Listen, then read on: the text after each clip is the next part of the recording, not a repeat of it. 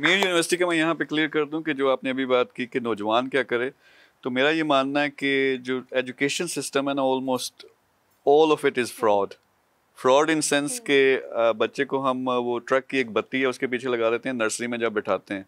Nursery prep one two three उसमें नंबरों के चक्कर में लगाते हैं। मैट्रिक कर वो उसको लगता है मैट्रिक बड़ी चीज़ होती है वो करता है फिर पता चलता है एफ़ एफ़ एस सी या फिर करते करते उसने ग्रेजुएशन करनी है फिर मास्टर्स करनी है। और समझा ये जाता कि ये बच्चा पढ़ जाएगा तो फिर अपने पैरों पे खड़ा होगा नहीं खड़ा होता। यानी जॉब सही नहीं है। तो आ, उसके मुकाबले में हमारा फ़र्ज़ करें ये पाक जोन के वहाब साहब बैठे हैं सी ओ यहाँ हम ट्रेनिंग करवाते हैं पता नहीं आठ सौ या बारह सौ दिरम उसकी फ़ीस है। और हमने प्रॉमिस किया हुआ है कि एक महीने के अंदर अंदर आपको ऑर्डर्स आना शुरू हो जाए आपकी कमाई आना शुरू हो जाएगी। लेकिन कुछ थोड़ा सा ऊपर नीचे हो जाए ना तो वो बच्चा खुद और उसके वालदेन देखें हमारे साथ लड़ते कैसे हैं। हम्म।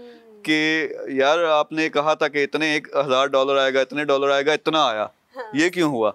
तो मैं सोचता हूँ यार वहाँ आपने पच्चीस साल लगाए उस यूनिवर्सिटी में एजुकेशन सिस्टम में और आपने बच्चे के सोलह या से बीस साल भी लगवाए। हम्म। और वहाँ आपने नहीं पूछा हाँ भाई ये बच्चा अपने पैरों पर क्यों नहीं खड़ा हुआ? तो वहाँ से आइडिया आया कि हम अगर एक महीने में स्टूडेंट के साथ ये कर सकते हैं तो अगर हमें पूरे चार साल के लिए मिले। तो यूनिवर्सिटीज़ ऐसी बनाने जा रहे हैं जिसमें ग्रेजुएट होने से पहले पहले बच्चा एक हज़ार डॉलर कमा रहा होगा।